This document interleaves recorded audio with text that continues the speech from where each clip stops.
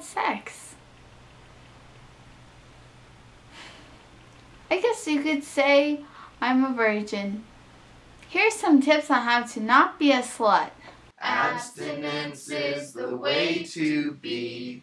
Don't have sex or you will burn for an eternity.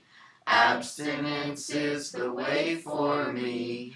Don't you touch my pee pee. Ladies, you are prey. Predators love curves, so cover them up. Do's and don'ts. Don'ts. Don't wear your hair back because it implies you're ready to give oral sex. Do's and don'ts. Do.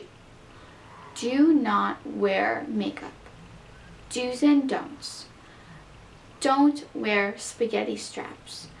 Do's and don'ts. Do lock the door when you're going to the bathroom on a date. Do's and don'ts. Do play up your period. Do's and don'ts. Don't have sex. Period.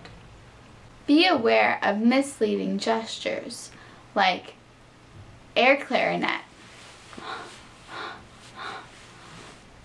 drinking out of a straw, and singing into a microphone.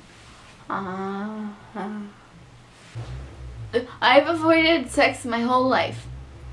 Trust me, it's overrated. Don't you touch my pee pee.